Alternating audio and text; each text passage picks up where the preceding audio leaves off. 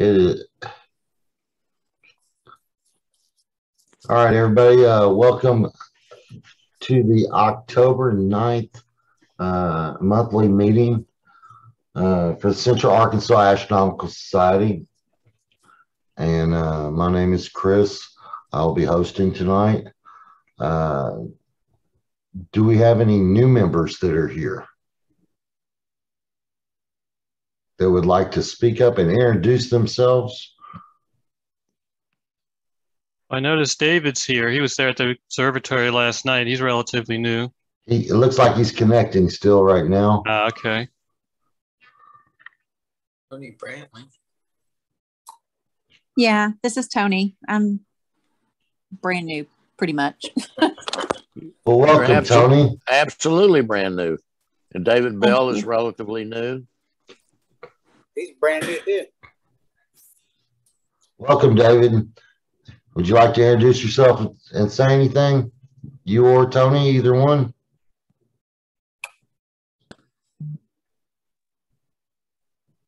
I don't really have anything now. How'd you find us, Tony? Um, I just did a actually did a Google search online just to try to find a group to join. And what piqued And- your interest? I just love I've always loved stargazing and um I've done it since I was a kid, but just decided to take it up a notch and try to find some, a group of people that love the same thing that I love and learn from people. Sounds fun to me. You were going to Yeah. come up last night, we, and you got a guest drop in Yes. on you. I did. I was so upset.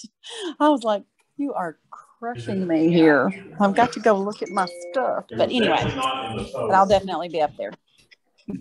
It was a pretty night last night. We wish you could have come on up. A lot of people were sharing a lot of equipment and Oh, a lot of knowledge. So, And there's a Pam. I don't know Pam. Pam must be new. That's No, that's um, actually Ken, I think. Oh, is that Ken? Yeah. Can you hear me? Yeah. yes. Okay, I'm on cell phone tonight, so I'm I'm not sure how to work this thing. That's why I'm not saying a whole lot. Well, Ken, we're glad you're here tonight, sir. Thank you. And David Bell was up last night. Yes. I don't know. David, can you hear us?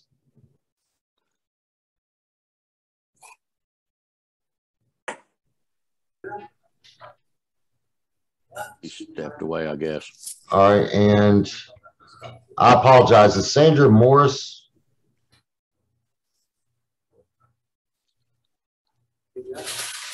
Yes, Uh, Sandy and Pat Morris. Yeah.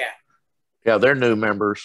Mhm. welcome, welcome, folks. I've only been in the club about 40 years. Okay, I apologize. I apologize. Well, it's been so long since we've seen them, they might as well be new members. That's Yeah, we agree. We agree. It's been a long time. love you guys. Thank you. We call on Pat anytime we got to drive a nail. Okay. Uh, All righty. Uh, anybody else would like to introduce themselves? All right. Well, then we will move along. Uh, we have our first presenter tonight, if I'm correct, is Karl. That'd be great. Um, uh, can everyone hear me? Yes. Absolutely. Okay, good. I don't have a video, but uh, I'm going to let uh, Bruce, or uh, sorry, Michael, share share my slides, and I'll uh, just kind of talk through them. Um, I'm uh, I've been in the club, I guess, a little bit over a year. Uh, I guess I'd call myself a beginner or intermediate astronomer. Got about a thousand observations so far, and so I'm just going to share you some ideas I have about eyepieces and. Uh, don't, don't claim to be an expert, but uh, just hoping to give you some of the things I've learned as I bought and sold eyepieces and some of the mistakes I've made. So hopefully y'all won't make the same mistakes I did. oh, I see it then. All right, is, is it showing up? Uh, don't see it yet, Michael. I said to hit, hit share. Okay. Is it showing now? There it Yes, is. sir. All right. Just let me know when you want me to advance the screen. Uh, next slide, please. So I want to just kind of give you an introduction to how many varieties of eyepieces you have. Hang on a Um, second. are- Why is it not advancing? Okay, there you go. So this slide is just trying to show you some of the uh, array of choices you have for eyepieces. Um, the cheapest eyepieces start only at, you know, 30 or 40 bucks. Um, and then the one and a quarter inch eyepieces go up to, you know, a few hundred dollars. And the most expensive eyepiece I could find online was a three inch, 100 degree field of view Explorer Scientific eyepiece for over a thousand dollars. So uh, the prices and the sizes all vary quite a bit. Uh, next slide, please, Michael. If you don't think that's enough choices, they also have choices like uh, Zoom eyepieces, uh, eyepiece kits, and reticle eyepieces. So the, the number of options you have is just really pretty staggering. Uh, next slide, please. So if I was to, uh, when I'm looking to buy an eyepiece, uh, I always ask myself a couple of questions. And uh, the first is, you know, what are, what are you using? Which telescope are you pairing your eyepiece with? What eyepieces do you currently have? Perhaps most importantly, what are you trying to observe? And what's your budget? And then overall, will the eyepiece work with the rest of your imaging chain, be that your mount or your tripod or your, or your telescope itself? Um, what equipment are you trying to pair it with? Uh, next slide, please. Oops, hang on a second. No, that's fine. Um, so unfortunately, this is kind of basic telescope math, and uh, and you just kind of have to understand some of these ideas. And so this will be a little bit dry, but just trying to explain to everyone what are what are these parameters, and and which one depends on the telescope, and which one depends on the eyepiece. Some depend on one, some depend on other, the other, and some depend on both. I don't know what that vegetable was, but that just was disgusting. Okay, somebody's uh in the background there. You might want to Mute. Mute, yeah. You, go- could you go to the next slide, please, Michael? So this is, that's the summary, and we'll go through each one individually. So we go to the next slide again. So the, each telescope has a minimum and maximum magnification that's a useful uh, magnification for the telescope. It's roughly 50 uh, power per inch. So for my 10 inch Dob, roughly 500 power is max power and the minimum power is roughly four times the aperture in inches. So roughly, for, for again for that Dob would be about four, 40 times. Uh, that'd be the minimum power. So that depends on uh, only the telescope itself. Uh, next slide, please. The magnification that you get with any given eyepiece depends on both the telescope itself and the eyepiece. And just a reminder, uh, a long focal length like 25 millimeters is actually low power where a short focal length like five millimeters is high power. And so what you do is you just divide the focal length of the telescope, which is always stamped on the tube, by the focal length of the eyepiece, and you come up with whatever power it happens to be. Uh, next slide, please. Uh, field of view tells you how much you can see through a given eyepiece. There's actually two sorts of field of view. There's the apparent field of view, and that's based on the eyepiece itself. So the way a lot of people explain that to you is if you look out at the horizon and hold the eyepiece up to your eye, how high up the sky can you see um, through the eyepiece? So for a cheap eyepiece, it may be 30 or 40 degrees. For an expensive eyepiece, that may be 100 degrees, meaning if you look toward the horizon, you'd actually see all the way up to the zenith and beyond. Uh, so that's the apparent field of view. And then you also got to pair that with a telescope itself. So the way you calculate it, the true field of view is the apparent field of view divided by the magnification. So it changes based on the uh, telescope as well. Uh, next slide. And, and please, if, this is not a formal talk at all. So anyone if it has any questions, just stop me and we, we, we can we can take a little detour if we need to. Um, uh, exit pupil means how big is the image at the size at, at your eye. Um, usually that's in the range of a few millimeters, you know, one millimeter to about six or so millimeters. And that depends both on the telescope and the eyepiece. Uh, next slide, please. Uh, eye relief is how far away the image is from the eyepiece. So basically, do you have to put your eye on the eyepiece or can you keep it a distance, away? Uh, some people say that only people with glasses need to worry about that. At least in my experience, that's not been true. I don't like getting eyeball boogers on the eyepiece. I like to have a little space. So um, a little space is a nice thing. So 15 millimeters is a nice, nice rule of thumb. Uh, next slide. Um, we won't delve too deep into this, but limiting magnitude is generally dependent on the telescope only. Um, and so for a telescope like my 10 inch dial, the limiting magnitude is about 14 and a half, at least in theory.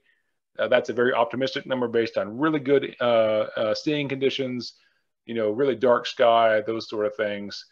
Um, just as a short aside, remember that the higher the number, actually the fainter the object. So Polaris is a plus two, while Sirius is a minus 1.5. So Polaris is much, much fainter than Sirius.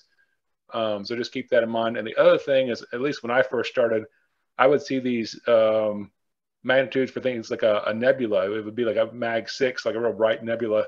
And I'd say, oh, great, I can really see that with my small reflector. Well, well, nebulas and other diffuse sources of light, like globular clusters or comets, at least as a rule of thumb, you probably should subtract, subtract about three mags. So if my telescope, my Dob is a theoretical max of 14 and a half, probably more realistically it was 13 to 13 and a half. So for a globular, it's probably closer to about 11. So it's, um, you know, just just keep that in mind. The few sources of light aren't like stars. Karl, Uh, yes, Karl, sir. this, this is Bruce. What that when they uh, uh, it would be useful to tell tell everybody that what that really amounts to is if you took that diffuse object and its its light and con- concentrated it into a star, that's what that means. So uh, it depends on how big the object is. Uh, your rule of thumb is a good one, I'm sure, but uh, it, it's it's it's condensing that into a, a point of light and the magnitude it would have if it were a star. Yeah, that's a good, that's a good point. Yeah, like the North America Nebula, which is at the zenith now in, in the evenings, you know, it's a relatively bright nebula, but but it's a spread over a large area. And, and, and like Bruce is saying, you know, if you can it to a point, it'd be pretty bright, but it's not. It's spread out, and that makes it really much harder to see. Uh, next slide, please. And lastly, resolution. That that says uh, how far apart can two points be, where you can still just uh, ascertain their points and not a blob. And so that uh, again, that depends only on the telescope. So can we go to the next slide, Michael? So this is uh, trying to explain that in a little more fun way. Uh, so if you had, I actually own three telescopes here. So if you look at the top, it's a it's a Lunt solar telescope. It's about uh, 80 millimeters, and then the 10 inch Dob is there, the big black one. And then on top of the Dob is actually a, a 250 millimeter finder scope. So it's a little bit of a stretch, but that's my third telescope. Um, so if you uh, put a 25 millimeter eyepiece in each of these um, telescopes, what would you see? Well, on the right is an image trying to show, it's a simulated image of what you'd see if you look through it. You can see that the little white circle is the finder scope. It would have the lowest magnification, only be at 10x. It would have a huge field of view about six degrees. Then it would have the lowest resolution about two arc seconds. The orange circle is what you'd have with if you use the Dob with the same uh, eyepiece. And on that uh, instance, you'd get a much smaller field of view, about one, de one degree. You get a relatively higher magnification, about 50x, and the resolution would be about half an arc second. So that would, if you use the same eyepiece for several different uh, telescopes, you get different results. Uh, next slide, please. This is kind of the flip side of that. If you used one, te one uh, telescope, you use three eyepieces, what would you get? Um, these three eyepieces are just ones I pulled off the internet. I, I, I, own one or two, but I don't own them all. Um, the TeleVue eyepiece is a, is a wide field of view eyepiece. And you can see it would give you a low power at 25x and a pretty good field of view. This is the wild duck cluster here in the center. And then if you use the orange Excel, uh, uh, Celestron Excel eyepiece, you get kind of a mid power there, about 62x and a medium-sized field of view. And then if you use that Baader Morpheus, you get a higher power uh, at, at, almost 90. And the field of view is kind of funny, even though you, you're increasing the power from can, as compared to the Excel, the field of view is almost the same. And that's because the uh, apparent field of view of the Morpheus is higher than the Excel. So although you're magging up, the eyepiece has a wider field of view to start with. So it's more or less a wash. Does anyone have any questions? I might go back about two slides. uh, log five or five log. Back one more. Down, So yeah, down, down there. Never heard of five log. What? Where'd that name come from? So I found I found a couple of different um, things online as far as formulas how people are computing um, limiting magnitude for a telescope. Uh, Jim Dixon also said that was one he hadn't heard of. It was one I found online. Um, I'm not sure if it's valid or not. Um, there were other more complicated formulas online that actually took into play your type of telescope, the the um, the, the exquisiteness or the uh, of the optics or lack thereof and th- those sort of things. And it was a more complicated formula, but um, you know they do usually stamp that on the tube what they say the limiting mag is, but I'm I'm not sure. I, I don't remember to be honest where I got that formula from. Somewhere online.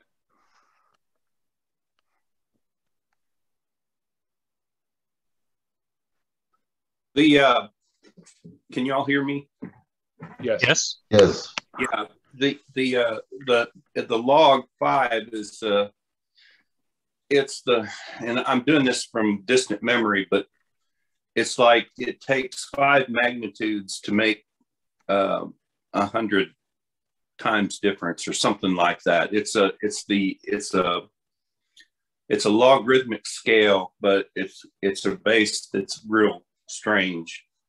So, uh, like for instance, the first mag from first magnitude to second magnitude is like two and a half or 2.8 times or something like that. And then it, it just works like that because your eye is is not linear. It it's sensitive, more like a logarithmic scale where something twice as bright doesn't really look twice as bright to your eye. If that makes sense.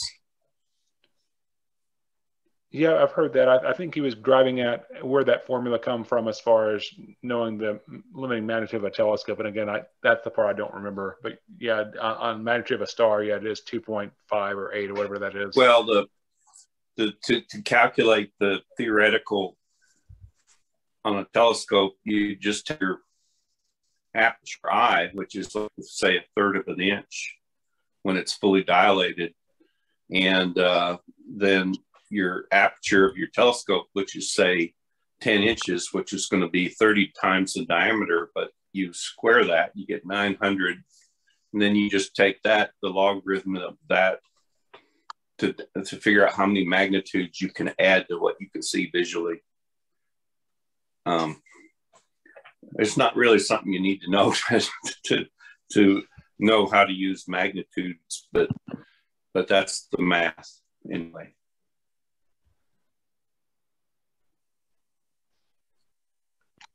So we go forward uh, two slides, please, Michael. uh, one more. And one more. so um, th these are my general thoughts for, for if you were a beginner starting off. Um, most time you're going to be, be, using low power. And so that if you were going to buy an upgrade eyepiece, that would be the one I'd recommend to buy first. Um, the, the, exception to that is if you really like things like the moon or the planets, then you're going to want a high power eyepiece. But for most people, low power is going to be used most of the time. Um, I match the quality of your eyepiece with your mount. Uh, again, you know, there's no reason to have a um, uh, economical telescope and a premium eyepiece. You have to have kind of things that go together. Um, and exit pupil is a really important idea. I didn't understand when I first started. Um, somewhere around uh, three to five millimeters is pretty good for for most standard work and somewhere around one millimeter is pretty good for planetary work.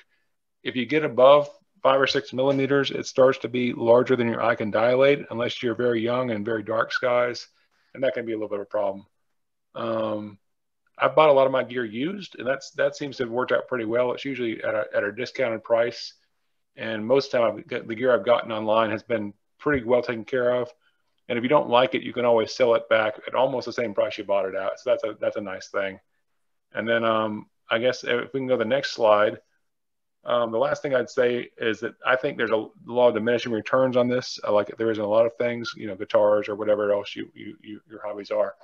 Um, at some point at the beginning of the, the curve, you kind of get what you pay for. And then the curve goes up really steeply. And somewhere around 100 to $200, you get a whole lot of eyepiece. And then after that point, you start to get to where there's decreased returns. It's better, but not nearly as much as you're putting into it. And the curves, uh, you know, leveling off. Uh, next slide, please.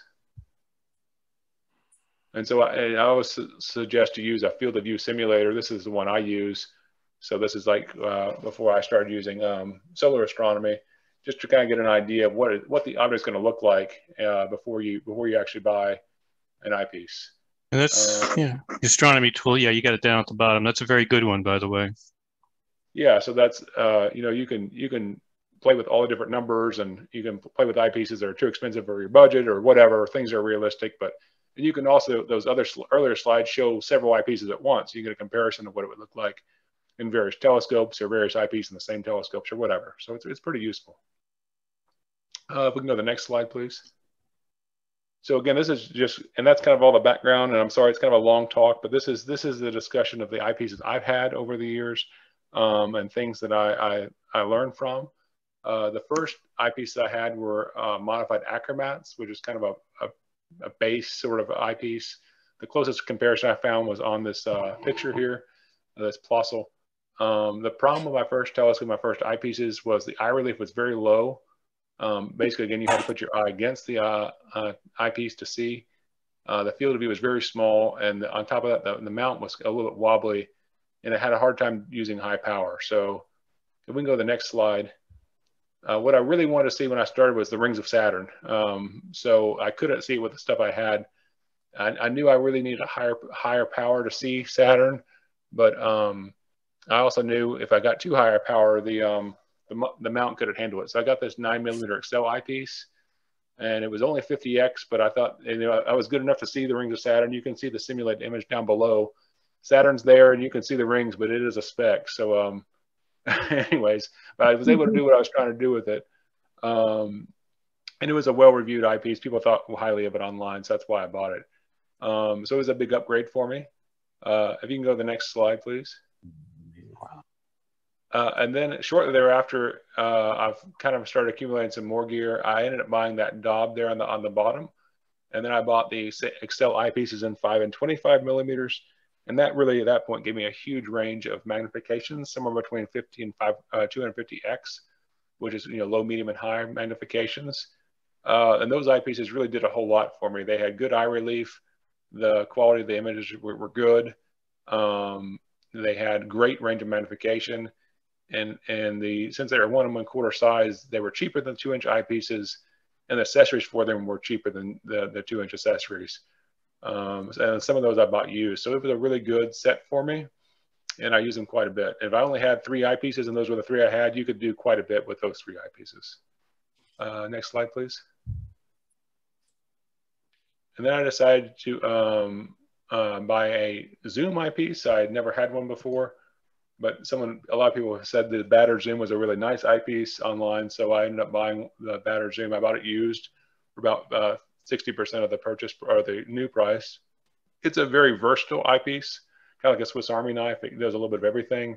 It's got a bunch of different adapters in the, in the kit. And if you buy, they also have a Barlow that comes with them. We'll talk about that at the very end, what a Barlow is. If you bought the Barlow, the range of, of, of, of focal lengths goes from about four millimeters to 24 millimeters, which is just about every useful magnification there is. Uh, so very versatile eyepiece. Um, the stars were are pretty good through the uh, through the um, through the Baader. The eye, re eye relief is good. Um, the the thing the zoom has just really taught me a lot. When I was first using it, I was using it to hunt asteroids, and I realized as I zoomed in through the Baader at 24 millimeters to let's say 12 millimeters, I could see quite a bit fainter stars and asteroids. It would it would gain one or even two mags of of, of visibility, and I did it under, and that's because of the um, the exit pupil, I, and that's kind of why I started to understand exit pupil. So it's been a really useful eyepiece, and I've used it all the time, and I still have it. Um, uh, next slide, please. But if you don't like that particular zoom, you've got all these other choices for zoom eyepieces. Uh, the cheapest ones are about under $100, and then the more expensive ones are, are Baaders on the more expensive side. Uh, and then they also even have things like this little TeleVue uh, planetary eyepiece. So they, they can do anything you want to do. And they're, like I said, if you just go outside with one eyepiece and one small telescope, it's a nice one to take outside. Uh, next slide, please. and then I decided I really liked open clusters. So I thought I wanted the ultimate large field of view eyepiece. Uh, so I, I, wanted to minimize my magnification. And then I didn't want to spend, spend a whole lot of money for the huge field of view eyepieces because the field of view, as the field of view goes up, the uh, price goes up exponentially. So I, I, got this Explore Scientific 32 millimeter eyepiece. Um, the only problem with the eyepiece was I forgot about the exit pupil. Again, I didn't understand that at the time. And since the exit pupil is so large, um, it's it's hard. It was hard for my eyes to get in all the uh, light because some of the light is at six and a half millimeters. That's wider than my pupil, and so some of that light is spilled around the pupil and the iris, and so you can't see it. You lose a little bit of the um, the fainting objects with that, which is not a big deal a lot of times. But anyways, that was the the, the biggest drawback to that eyepiece. If you can go to the next slide, please, Michael. Um, but again, that was a, a pretty good eyepiece for me. I liked it a lot. The stars were great. Um, it was a little bit heavy, and this started to get into some of my problems. I, I realized over time that I had to move the altitude bearings on my Dob to keep it from falling over, um, just because it, it, pulled the Dob down. Uh, so that was, I, I, didn't realize that was a problem until I until I started messing with it. So next slide. You didn't try using a counterweight? Well, that came later. Um, so then I decided I wanted a, I wanted a black eyepiece with green letters. Uh, so I got the a TeleVue Type 4. Um, I was trying to fix the uh, exit pupil, which I did. I got to about four and a half millimeters, which is pretty ideal for dark uh, DSOs. And it had a pretty big field of view, you know, 82 degrees field of view. So it's more or less the same as the Explorer Scientific, but it's a pound and a half. It, it is literally a pound and a half. It is a huge uh, weight on the front of the, the uh, telescope and it, it, no matter what I did at that point, I couldn't use the Dob with just as it was. So I had to get a counterweight and uh, got a magnet counterweight to kind of move around. And as the as the Dob goes up and down, the counterweight has to go back and forth, or it won't stay balanced. So it's um, I guess part of the main thrust of this talk is everything has a has a trade-off. Some things have better than others, but nothing's there's no such thing as a perfect eyepiece. Uh, next slide, please. So that's what I currently have uh, there for eyepieces. Um, the uh, TeleVues in the back, and then the Baaders in the back right, and then the Excels. And then the front one's a little bitty reticle eyepiece I bought used online uh, to track planets with my um, finder scope. Uh, next slide. I want to say a, a, word about a Barlow. A Barlow is a lens that increases the focal length of a telescope. So the most standard is a 2x, and you can think about, about that basically as doubling the magnification of your eyepiece. So if you have a 20 millimeter eyepiece, you put a 2x Barlow, all of a sudden you have a 10x or 10 millimeter eyepiece uh, equivalent. So it can it can give you more versatility. Um, again, the standard is a 2x, but they they go all the way up to 5x if you can you can find some that are unusual powers. Um, all the eyepieces do have built-in Barlows. You may, you may, not be aware of that, but like the Excels have built-in Barlows.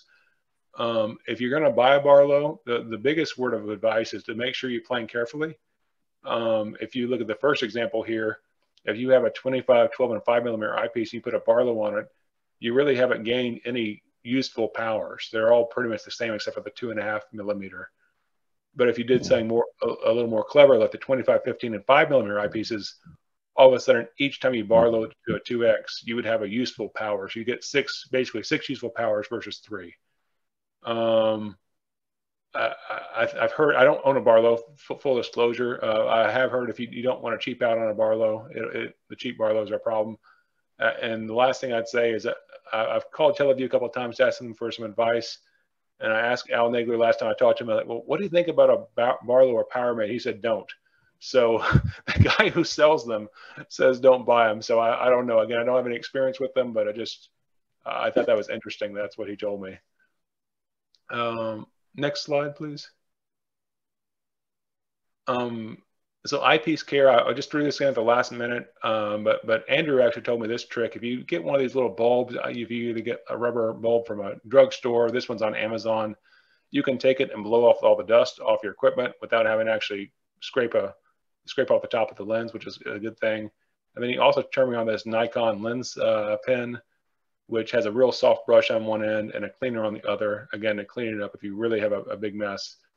Um, and the last thing, you can see this eyepiece on the bottom this is a used eyepiece I bought online and did it, you know, guess I got what I paid for. Um, it has eyepiece mold on it. I don't know if you can see those spots on it. That's actually mold or fungus. Um, and so that is a thing. And uh, so when I first started, I think it was Michael who told me, you know, make sure you, when you take your stuff out at the end of the night and you bring it in the house, make sure you let it air out for a day or two. And that's what I've always done. I've always let it. Well, it doesn't have to be a day or two. It can just be for an hour. But you just Well, want the you know- moisture to evaporate off. Yeah. Yeah, well, usually when I'm going in, my wife's sleeping, and I just kind of throw it in, throw it in the uh, on the bookshelf somewhere to let it air out. But but don't put it away wet, or you really you really will get eyepiece molds. I was I'd never seen them before, but um, it's a thing. So, um, and last slide, please. So I guess in summary, there there are uh, many many choices for eyepieces, and there's no single perfect eyepiece anymore. There's a perfect telescope. Um, so the biggest questions are, what are you trying to look at and how much are you going to spend? Are you willing to compromise with a zoom eyepiece that does everything a little bit uh, okay, or would you rather have a uh, fixed focal eyepiece that does it one thing well? And then match the quality of your eyepiece and your and the rest of your imaging chain. And then just realize if you, if you get heavier eyepieces, uh, you know you're gonna have problems with your mount. And uh, consider a low power eyepiece as your first upgrade. And I would also say that a couple of good eyepieces, two or three, or maybe even four, is a lot better than 10 cheaper eyepieces because you're only going to use one or two in any given night. You probably aren't going to use five eyepieces. Um, and so make sure you use your simulator before you buy one so you kind of plan out and make a good choice. And then it's it's really nice to be able to borrow one of these or, or buy a used one again to to try it before you buy it or try it at a cheap price. Um, anyway, that's kind of what I had. I'm happy to answer your questions and uh, hopefully that was helpful for y'all.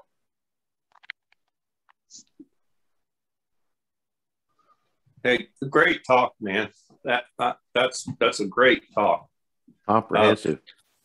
The the uh, I had one comment that you didn't touch on that you almost did, but uh, when using Barlow's, uh, if you have an eyepiece with a real wide apparent field, um, the Barlow will increase your magnification, but it doesn't change your apparent field and and uh, and really your eye relief. So if you have an eyepiece that you like uh, and is comfortable, you can use a Barlow with it, and you, it's still about the same comfort level for you. Uh, you're just in the same apparent field. You just have more magnification. Um, so that's one of the things that people like about Barlow's. But you're right; you don't want to buy a cheap one. There, it just it doesn't pay. Um, let's see, I had one other comment. What was I thinking? Um, the uh, uh, oh, I was going to say on the the you're exactly right on the TeleVues and some of the more advanced eyepieces. That's basically a Barlow's built into the design, and uh, so when you're using uh, one of those uh, super wide field eyepieces, he has to put so many different types of glass in there to to take out all the errors. It it does get very heavy. And um, that's just because it's it's such a wide field of view. Another I mean, thing, if you're like using a, if you're using a Barlow and you're already using a field flattener, take the field flattener out. The Barlow will flatten the field. Otherwise, you just end up with extra weight that you don't need. You know, coma corrector. You know, don't use it. Take it out, and uh, the Barlow will act as a coma corrector. Yeah, I was just shocked that when I first got the Explore Scientific, I was like, man, this is a heavy eyepiece. And then when I got the TeleVue, I was like, oh my gosh, it's just like a cannonball at the end of the end of the knob. It just it, it really is impressive in, in a bad way, sort of. Well, see, the nice thing about an oh. equatorial mount is you can slide the the telescope up and forward or backward and kind of counterbalance. It's and, or use the counterweights. So it's, it, Dobsonian's a little tougher to deal with that. Yeah, and then but if you change eyepieces, whether you're an equatorial or a dove, if you have everything balanced and you change that out to a n- more normal weight, it just it makes everything wacky again. Mhm. But again, that's part that's part of the pluses and minuses of any using any eyepiece. You know, like I said, there's no Correct. there's no perfect eyepiece. Oh, one one more little tricky thing that I've learned over the years. You know, a lot of the reason you want eye relief is so you can keep your glasses on. And and by the way, if you have Varilux or any of those or bifocals, those are not very good to use with a telescope. Uh, just a plain one prescription uh, eyeglass is the best. Uh, and you know, you can take your glasses off and refocus if all your your vision problem is purely just uh, what they call sphere. Uh, if you have some astigmatism, you can't take that out no matter how carefully you focus. Um, but TeleVue, um, being who they are, they actually came out with a astigmatism correction that fits over their eyepieces. You just take the rubber eye cup off and this thing fits over, and then you have to twirl it to get it to the right axis for your astigmatism. But it actually does work. I've got one that I bought a long time ago that uh, the problem is if I got to take it off if anybody else wants to look because it's it's it makes it worse for the for them. But uh, uh, it, there is such a thing. You have to know your prescription to when you order it. You know how strong your astigmatism is.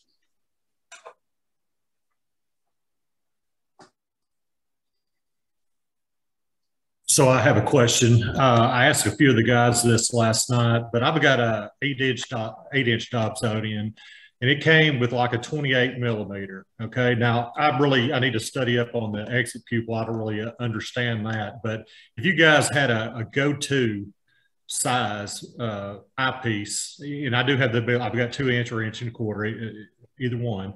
So what size would you get with an eight inch? It's it's 1200 millimeters. So I mean, 28 is you know around you know less than 40, I guess, but or around the 40 mark. Which eyepiece would you guys get as far to see DSOs? That's about what I would do, David. Somewhere in the mid 20s. Um, okay. Again, you just just uh, I don't I can't do all the math on the tip of my fingers, but you know that'd be a very reasonable power, probably be a very reasonable exit pupil you know, uh, you know, tw 25 to 30 is going to be a, a, real nice low power for you, somewhere in that okay. range. Okay. Yeah, I would use anything that will give you about 100 power is pretty good for DSOs. It it reduce it darkens the field enough you can see them a little better, and uh, uh, you probably have to have another eyepiece that's lower power just to make sure you can find it. Right. But so, but then then you can switch up to your 100 power, which if you have a 1200 millimeter focal length, well, I guess that would be a 12 millimeter eyepiece would be about your ideal for for you know looking at faint fuzzies. Yeah, your two your two low power eyepieces. I, I agree with John.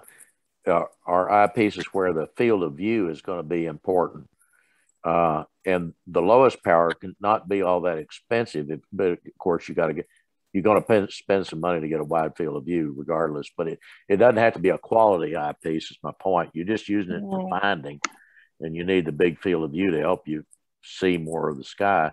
Then you need a nice uh, eyepiece to observe with. And John, about hundred power is about right for dark sky. And again, a wide field of view is nice.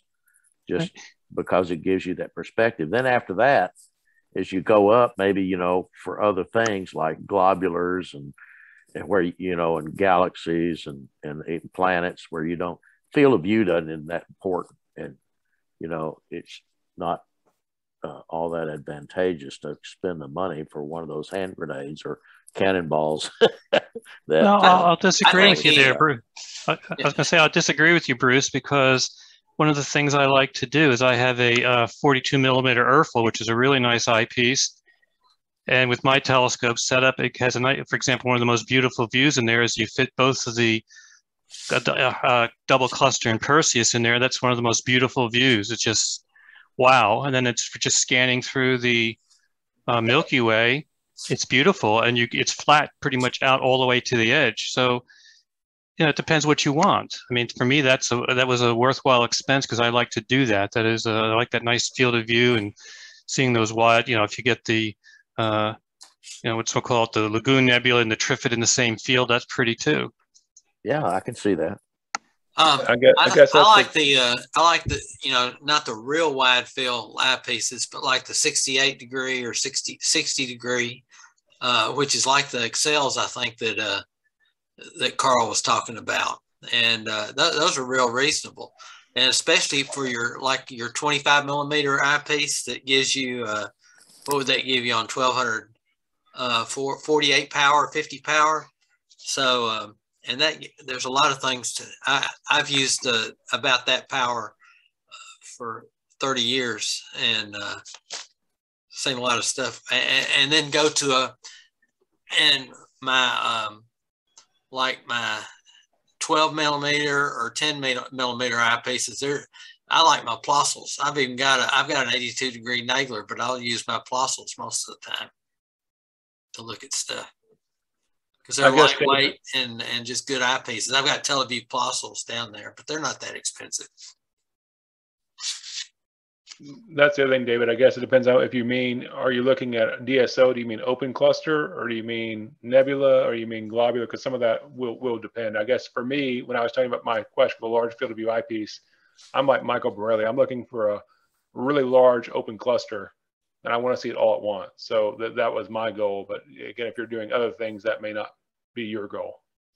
Well, really, it's just uh, I, I, want to see it all. You know, I, I don't want to spend a fortune. I don't want to spend a fortune on it. And the 28's okay. I mean, I I, I was able to see most of those uh, clusters last night. And Nebula, maybe not so much as you know something like Orion. I, I couldn't see much more. The I did see uh, one Michael showed me last night. I don't even remember which one that was actually, but. Lagoon. Uh, Lagoon. Okay. Okay. Good deal.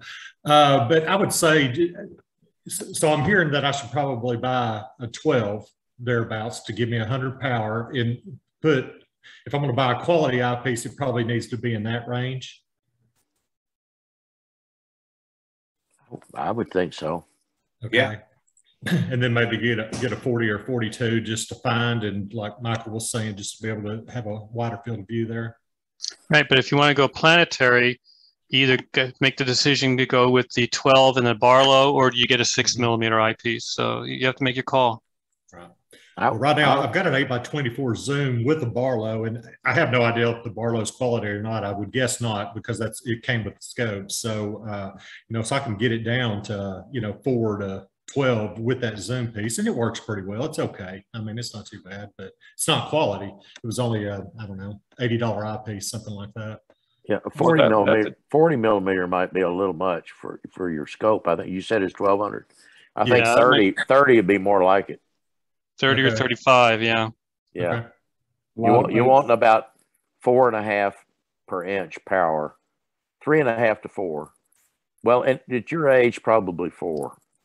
My age, I could even use less, but you know, it's uh, it's as as Karl says, you're it's not that it's bad to have an exit pupil that's larger than your than your eye can take in. You're just wasting the light. Right. If you want the wide field of view, get the get you know get the lower power eyepiece, but you're you're losing the light. That's like, you're losing. I had to study up on that. I don't understand that all that well, but. Well, the nice thing about having a zoom eyepiece, David, is you can try out all these different powers for free and right. just kind of see which power you think is best. Because what we're saying is what we like, but you may not. So just dial in a certain power and see if you like it or not. If you don't, try, try different power and see if you like that one. And then when you so, figure out which which zoom setting you use the most, buy that fixed focal length eyepiece. Okay. Um, out some night and then get people to loan you. There's a couple of their favorites. I got a little cheap SVBONY 40 millimeter, which that was about the lowest power thing I saw in the market, and it was only about thirty-five or forty dollars. So that's a win. Okay. Folks seem to like that one. Okay. So something high powered, something low powered. You've got one in the middle. So. Right. Okay. Appreciate it.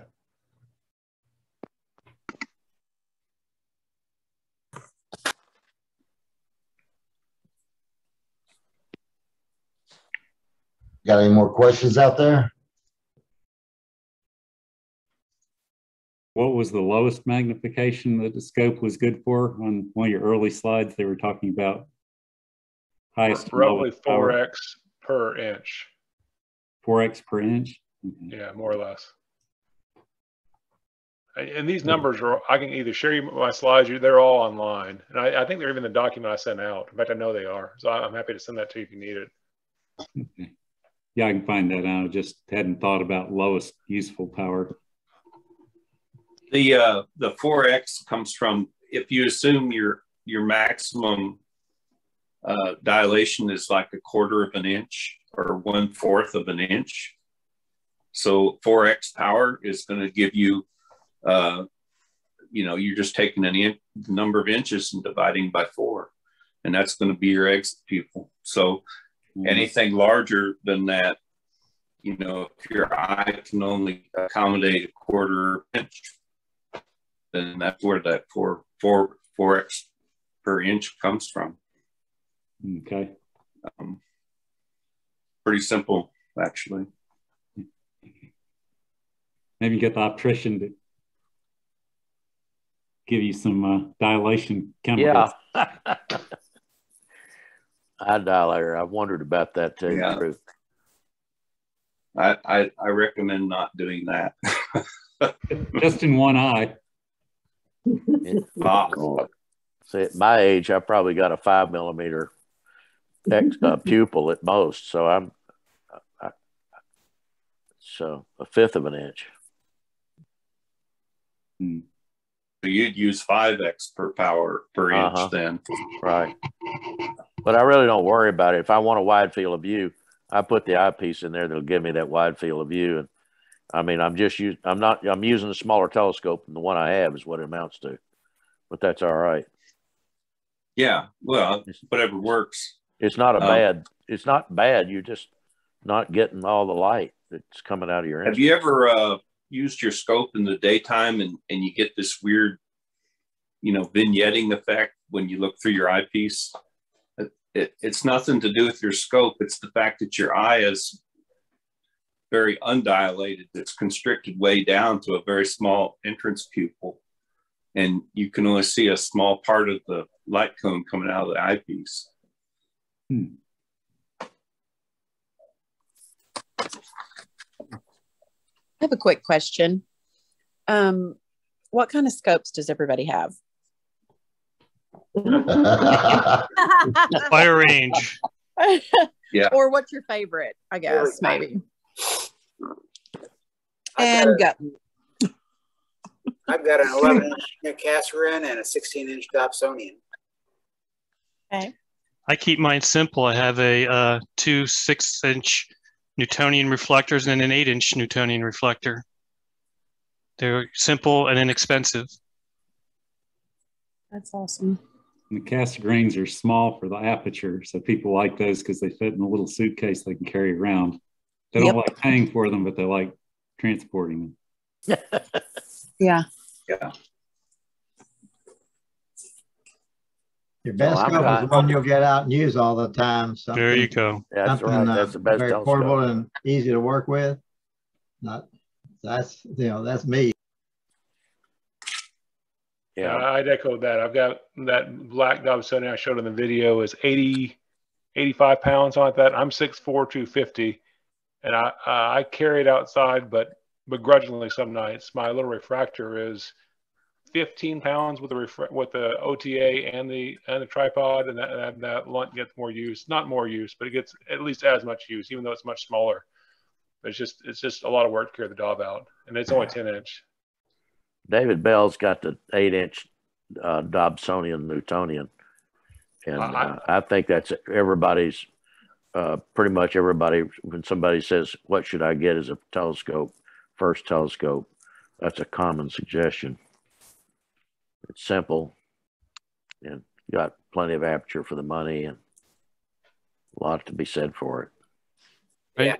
One of the things I'll, I'll point out is when you get those Dobbs and they have the alt azimuth mounts, you really got to learn how to, to star hop if you want to find some DSOs. Well, that's why I always liked the Newtonian because you could use setting circles and find something. Yeah, but you got to get all that set up. Doesn't take that long. Yeah. I bought a grab and go a couple of years ago, a 80 millimeter f5. Uh, I think it's a, I think it's made, but uh, that's a nice little scope. You've got to put it on a decent. I've got a decent mount for it, um, but uh, you can see most of the most most of the. Uh, you can find most of the uh, Messier objects with it. and so you get good views of the moon. It's real easy to, uh, real light on your budget and easy to take out. Something that's a good starter scope until you get better. Something else is to borrow, go go uh, uh, check out a library telescope at the library. Those we also have nice scopes. we also have four telescopes that we loan out to uh, club members. So you can always borrow one of those. Well, I had one. Um, long story about that, but anyway, it was a um, Orion Skyview Pro with an equatorial mount, eight inch aperture. Oh my goodness! Yeah, you went to right to the uh, I went higher to end the- of things. I did, and um, and I loved it. It was just, of course, massive. Like, who wants to move that? Nobody, not me. I don't.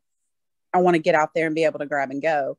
Um, so I'm looking for something like that, something easily portable that's going to show me all the things that I want to see. I'm not sure what your budget is. I got a Vixen 80 millimeter refractor um, this spring on a on the uh, Porta 2 tall mount. Uh, that that's a really nice telescope. Again, it's under 20 pounds the entire setup. You know, 80 millimeters is a little bit small for for DSOs, but you know, for planets and uh, for the Mhm. moon and even for the sun, if you want to put a filter on it, it worked really well for that. Um, it's actually up for sale if you want it. So. Uh, But I mean, if another common scope is a six-inch f5 or f8 telescope on an equatorial mount. You can get a go-to version of it anywhere between $600 and 800 dollars, or you get a simpler version closer to 500.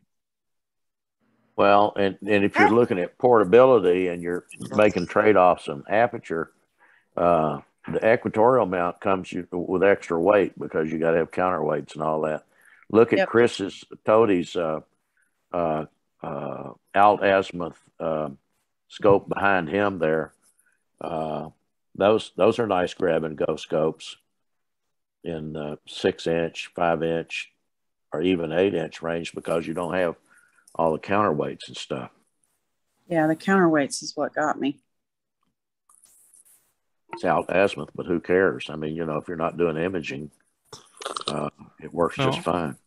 Again, some people find difficulty star hopping to find objects. Now, if you have an, a Dobsonian go-to, that's a different story. Well, his is not a Dobsonian; it's a alt azimuth uh, on a tripod. There, it's a Schmidt Right. Cassegrain on a on a one out one arm uh, alt azimuth mount. It's got a computer and all that. Okay, so say that's go-to though, right? Yeah, that's yeah, nice it's one. And it has a and it has a wedge. Yeah. And There you you can do it with a wedge, and there you got you got imaging. So you got it all right there with no counterweights. Uh, pretty yeah. But you know, I like to, to do the go uh, the uh, star hopping. I, in fact, I'm doing a program right now, and I'm trying to decide if I want to continue it because the damn thing is so automated. Uh, you know, finding it is for me, finding the objects uh, physically is half, if maybe more than half, the fun. It's the challenge, you know, tracking it down and learning the constellations and and so forth, and learning to judge the difference in the different magnitudes of stars, so you can find your way around, is uh, sort of the fun. And I, I don't know if I want to keep doing this, what I'm doing.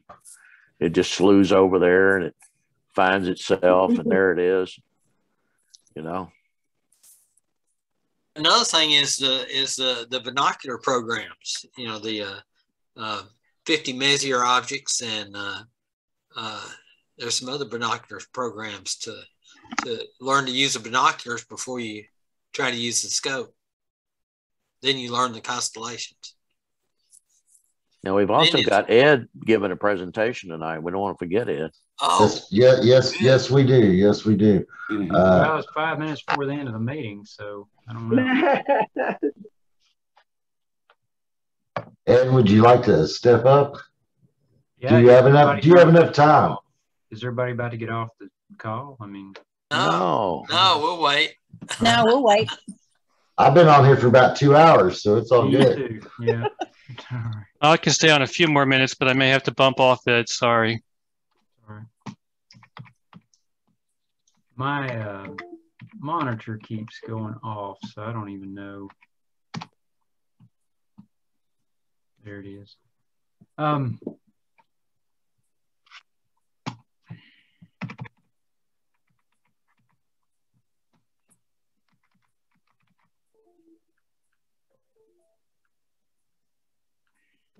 well, all right, if my monitor doesn't go blank again. Um, I've been to Stellafane in Vermont a couple of times in the past, and this year I was on the fence about whether I wanted to get on an airplane and go up there. But uh, I got a book that one of the members of that club wrote back in the 70s. Uh, it's usually pretty high price. It's out of print, but it came up on Amazon as a used book for a reasonable price. And it's a biography of Russell W. Porter, who um, I'll talk about in just a second. And I read that and I thought, well, I'm going to go. So I, I got my plane tickets and headed up there and, and went to uh, to Stellafane in Vermont. All right, is my slideshow up? Yep. Yeah. Okay. So this was in August of 2021 in Springfield, Vermont. It's a little bitty town, kind of in southern Vermont, and uh, it's been held there. This was the 85th time that it had been held. Yeah. Now, it started in 1926, and they skipped a few years when, uh, at the end of World War II, and a couple other times. Um, but for the most part, it's uh, been going on for close to 100 years now. So Russell W. Porter was a native of Springfield, Vermont. He, when he was young, he went on several Arctic exploration deals. Uh, was a member of a crew on on several expeditions, and he did a lot of the surveys and things on those crews. So he, I guess, was self-taught as a surveyor and knew how to use optical instruments and was very precise in what he did. He studied as an architect. He was an artist and did all kinds of other other stuff. He's a machinist as well. You've seen his drawings. There's a drawing here of the 200 inch dome at Palomar that the uh, inch telescope is in uh, out there in California. He actually owned the site where Stellafane is today. So another important figure was James Hartness. He was a mechanical engineer and he ran the Jones and Lamson Machine Company in Springfield. Springfield is on a river that has enough fall to it that they could run a lot of machinery with water power. And this company built different uh, machined type things. And he came there and he had patented a turret lathe, and that's him standing next to or operating a turret lathe that they manufactured in that plant.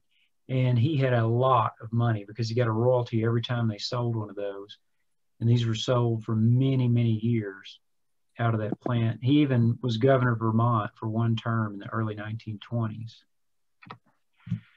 So Bruce talked about screw threads last month and the different types of screw threads that exist. And having just been up there in Vermont, I went to something called the American Precision Museum, which is in Windsor, Vermont, a little bit north of Springfield.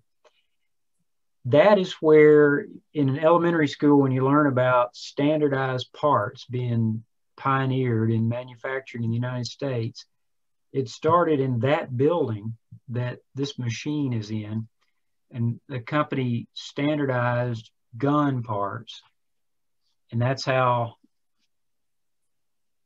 the United States Army was able to manufacture so many guns for the Civil War and, and everything else they've uh, manufactured guns for.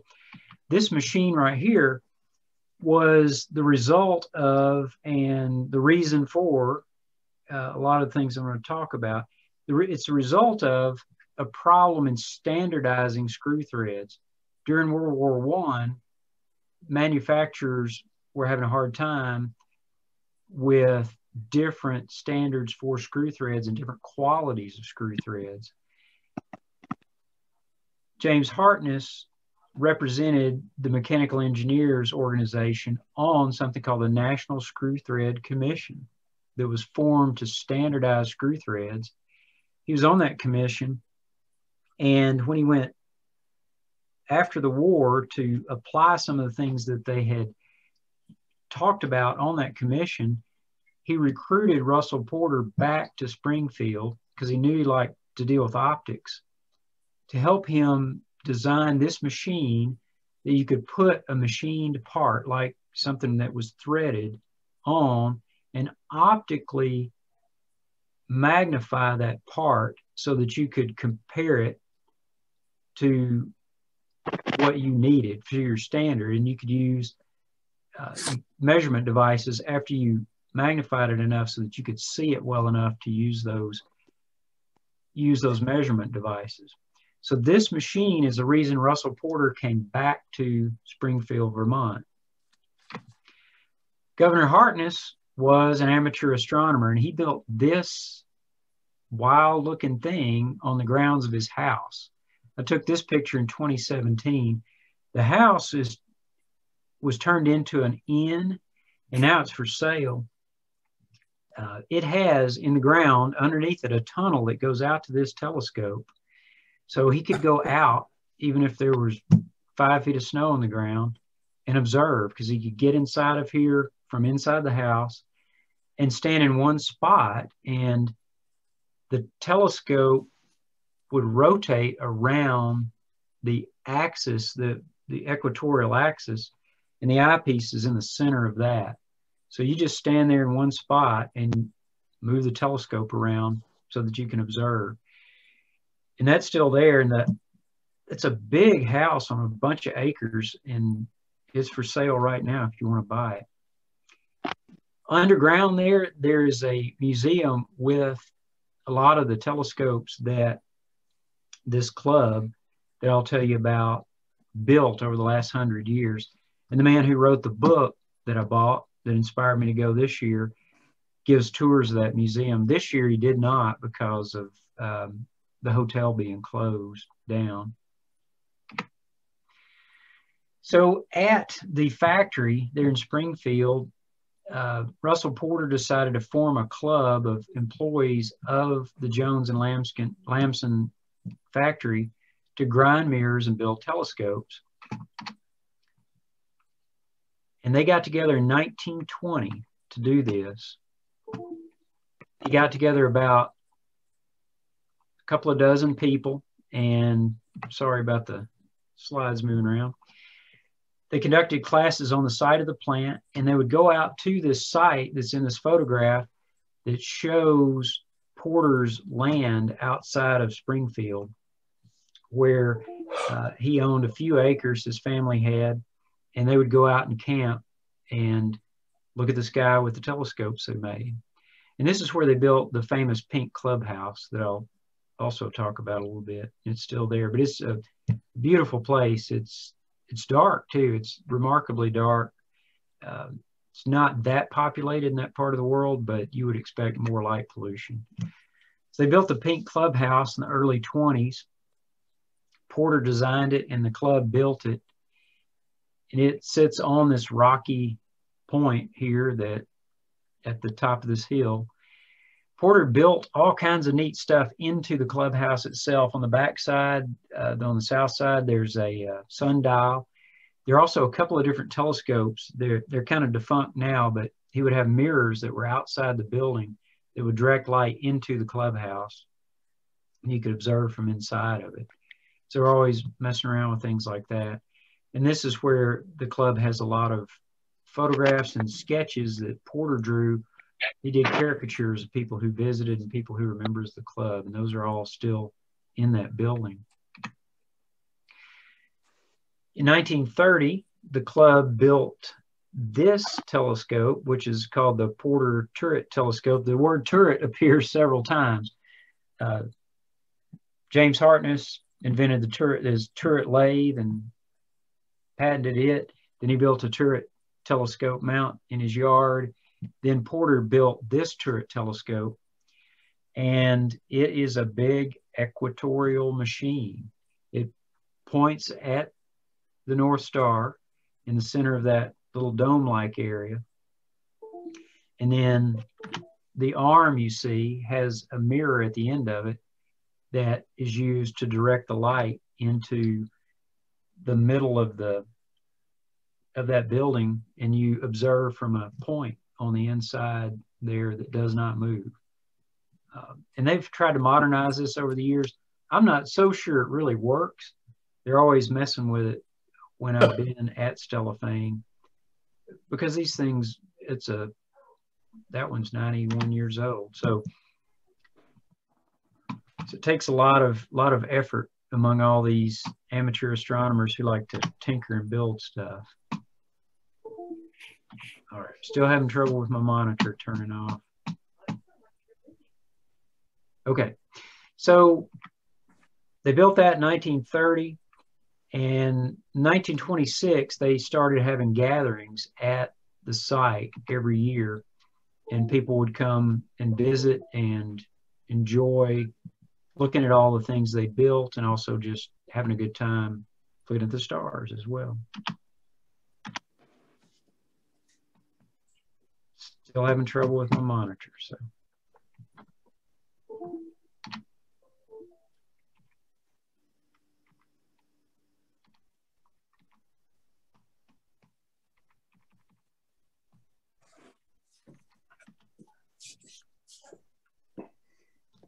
Ah, crapping out on me. Um, maybe we can see fine, maybe you can't. There's, yeah. I don't know what slide you're on though. Okay. See, that's my problem. Go back. Go back. Go back. Go back. Go back. Pretty telescopes. Uh, that's about where you left off. Swap tables. Okay. Uh, now I've got it back up.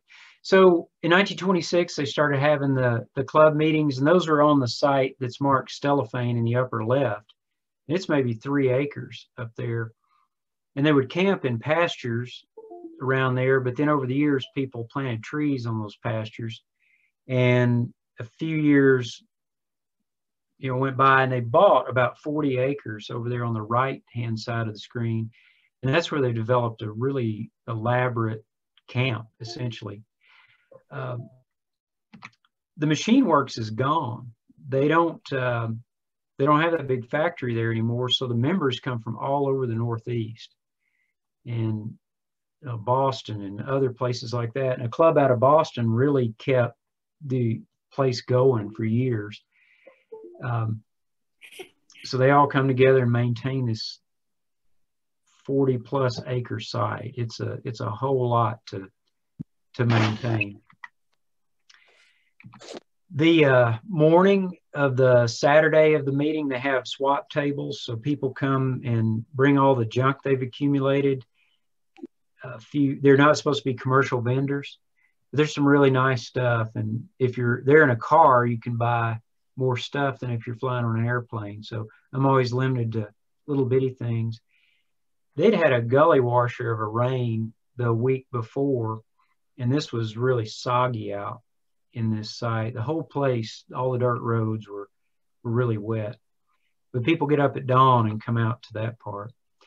So the main thing that goes on is the telescope making competition. People bring in telescopes they've built. They've some have brought in old telescopes they've restored. There's um, stuff like the one on the right that's kind of assembled out of junk parts. There's some really good woodworking, and then there will be people who are fantastic machinists who build things out of metal. Uh, one guy has a telescope that's just he has brought it all three of the years that I've gone. It's kind of work in progress of it's fantastic metal work. There weren't that many entries this year because a lot of people decided not to to come out, but it was still really nice to to see. so observing takes place mainly on this side at Stellafane East. That's a really steep hill that goes to the south. You can see a little domed observatory there. There's another observatory behind where I was standing when I took the picture. And this is just early on, but by dark, there's about twice this much set up out there and just hundreds of people milling around. You can hear them talking about what they're looking at and they'll show you different things through their telescopes and it's a lot of fun to just be out there and and be able to see what you can. And it's as dark as it is RRO without any real appreciable sky glow around the edges. There's a prison somewhere near Springfield, but it doesn't cause a whole lot of whole lot of trouble when you uh, when you try to observe. All right, tell me what slide you see because I don't. Saturday night awards and talks. Just changed the Okay. Yeah. All right. So on the Saturday night, they have talks in this large kind of natural amphitheater. The screen you see over to the left is a projection screen. They project uh, the award winners on it and then slides from the presenters. The club members all wear light blue shirts and they're down near the screen set up. A few people camp up in this area. There's a food vendor up on the hill here. And uh, that was before the crowd really filled in, but it was it wasn't a small crowd this year. It was it was really good. And Stella Kafka or Kafka from uh, American Association of Variable Star Observers talked about Betelgeuse this year. It was they usually get somebody who's pretty well known to to speak. Um, the Naglers give away a bunch of eyepieces during this presentation. You buy uh, tickets during the the convention, and then they have a drawing on Saturday night for several different sets of of Nagler eyepieces, and probably twenty or thirty thousand dollars worth of eyepieces they give away. They donate each year. Al Nagler was not there this year, but I think his son was at, at this one. All right, tell me what's on this slide. Next convention, All right. So next convention will be in July of next year. And uh, that's the pink on the pink clubhouse. There are a lot of different uh, theories about why it's pink, but uh, it's been that way for a hundred years and it's really, really neat deal. So I encourage you to go. Um, it's a nice camping trip with observing in a neat place. And it's not that difficult to get there. You just fly up to, I fly to the Hartford, Connecticut airport. Um, this morning I woke up near Gilbert, Arkansas and drove home.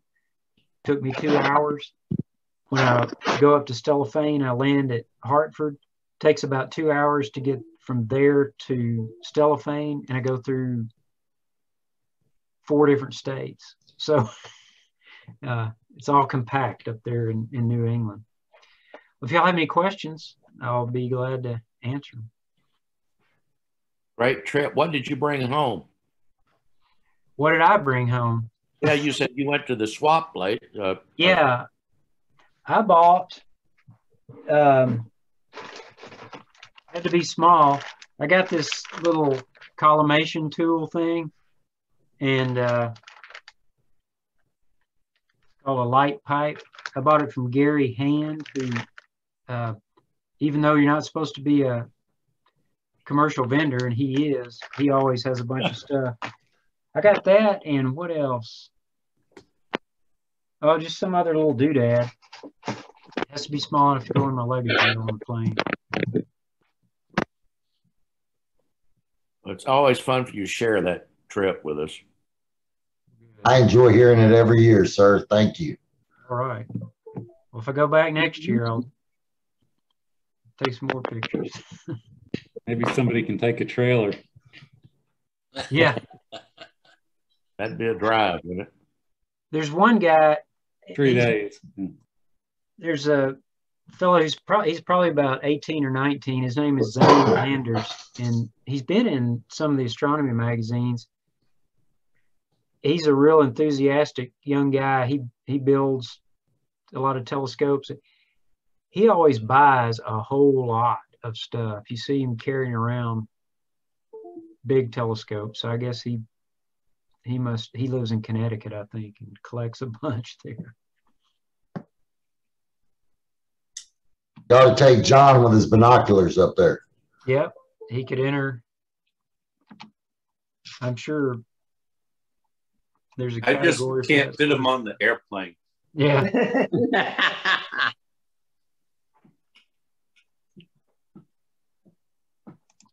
All right. Well, thank you very much, Ed. All We right. sure appreciate it, sir. Yeah. Uh, and we're grateful uh, every year when you when you give us this presentation. Um, does anybody did I miss anybody earlier uh, that's new to the group that hasn't introduced themselves that would like to at this point?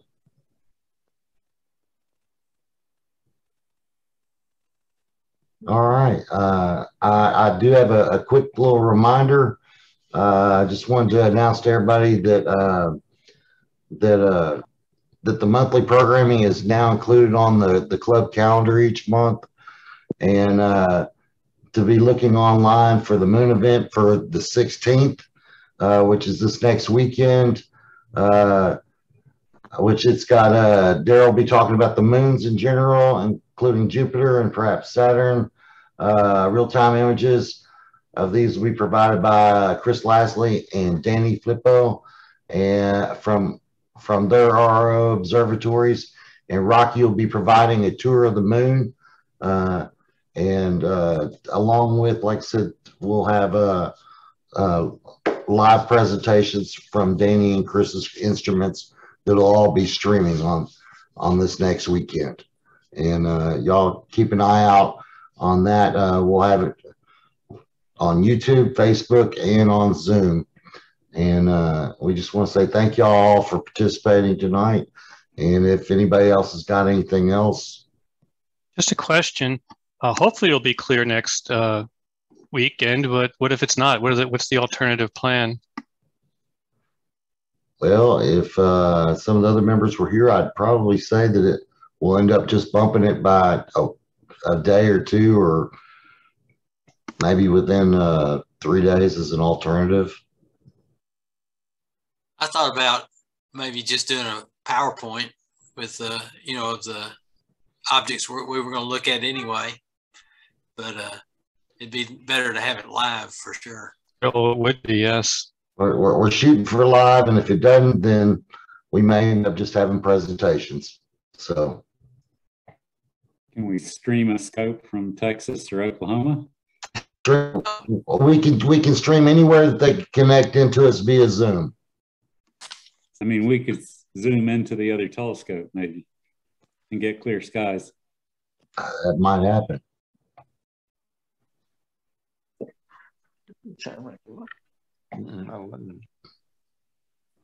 All right. Um, and uh, don't forget that uh, there is, uh, if you want to be a, pre- a presenter or if you want uh, to cover any topics in any month, please reach out to us. Uh, we'll be happy to get you signed up. And that way you can continue to help participate in the group itself. And um, on that, I think we're just going to close up for the night. All right. Good night, everybody. Good night. Clear skies. night. Take care, everyone. Good night. Good night, everybody. Bye.